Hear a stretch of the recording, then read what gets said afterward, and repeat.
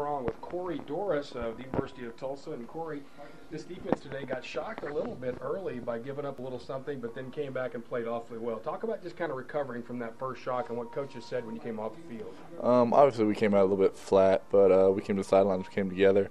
Um, coaches gave us a little pep talk and told us, you know, get after it or, or else, you know. no, I'm just kidding about that. But um, we came together as a unit. You know, we do what we do, and uh, we decided as a unit that – we were just going to step out and be the defense we could be, and that's what we did. everybody talked about coming in off that Notre Dame win, that you know whether or not this team would come out fast, and you talked about coming out a little bit slow, but a week of practice leading up, all that kind of stuff. Was there a lot of talk about not letting that big win get to be too big? Um, we were. somebody brought up the fact that one of the first things I heard after the Notre Dame Notre Dame game was, uh, "How are you going to stop the letdown?" Or, or "What are you going to do to?" Not let everyone down and everything about Rice and everything. It's like we don't think about it like that. Um, I don't care if we're playing Notre Dame. I don't care if we're playing Central Arkansas. I don't care if we're playing USC. Uh, we're going to come out. We're going to prepare the way we prepare, just like any other game, any other day, and we're going to be the best we can. That's how it's, how, how it's going to work out.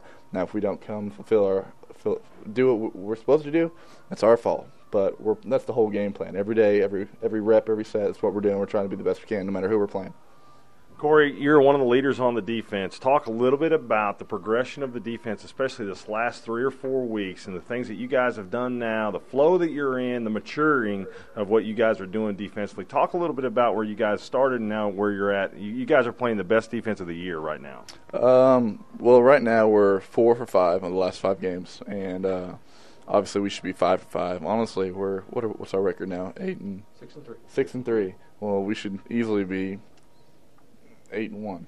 I mean, I think, but that's just my opinion. Let me throw that out there. Just right. just throw that out there. But um, last five games, we've stepped it up a lot. Uh, we came together as a unit at the beginning of the season. I mean, there was a there were the there were the DBs, there were the linebackers, there's the D line. Well, now we're we're a solid unit. That's the best way to explain it. Um, we have that relationship together. I think that's something that people talk about, but not everybody has. Everybody wants it, but not everybody can get it. And we have that, and it's being shown with the last week's game, last today's game, you can show that everybody out there is playing for the guy next to him, and that's the number one thing is that we all care about each other. And whenever people get down, whenever offense starts to struggle, defense steps it up. Whenever defense starts to struggle, offense steps it up. So I mean, there's there's that relationship there now, and it's being shown. I mean, we're at bowl eligible, so that's a big deal. I mean, you can see it. You, you moved inside and played a little more inside today than you normally have. How's that for you? Um, honestly, I've been playing inside the last month now, so I mean, it's not really much of a change for me. Hey, Cory, inside the locker room now, it didn't take Coach Graham very long to switch gears instantly and talk about next week's game against Houston. How's that, you know, in your in your mindset? Talk a little bit about that. Um, the way I think about it too, uh, this is I already spoke about this, but um, I prepare for every game the exact same. Right. But just like Coach Graham, we got to take this win, celebrate. And tomorrow is Houston. It's just simple as that. Tomorrow's another day. Tomorrow's another game and you got to prepare that way. Uh, we've been playing great, but you know what? The way we've been playing doesn't matter. It's the way we play next week. Right. And Houston, Houston's a great game, so I mean, appreciate you. Cory, you did a great job today. Thanks, Thanks a lot. Sir. Okay.